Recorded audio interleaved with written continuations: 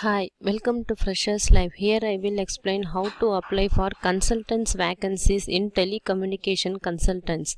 In the top of page you will find the company name, vacancy name, educational qualification, job location and other key information about this vacancy. This is the link of recruitment page. This link is given below the video.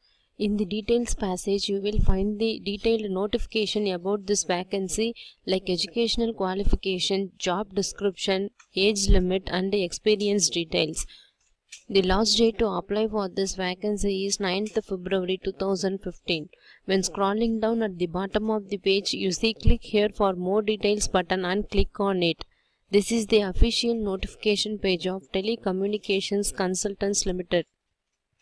Telecommunication consultants invites applications from experienced and retired persons for consultant vacancy. This page contains the educational qualification, essential qualification, field specialization, job profile and age limit.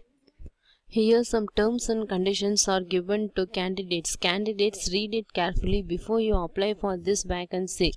The last date of receipt of applications is 2nd February 2015. All candidates are appointment on contract basis.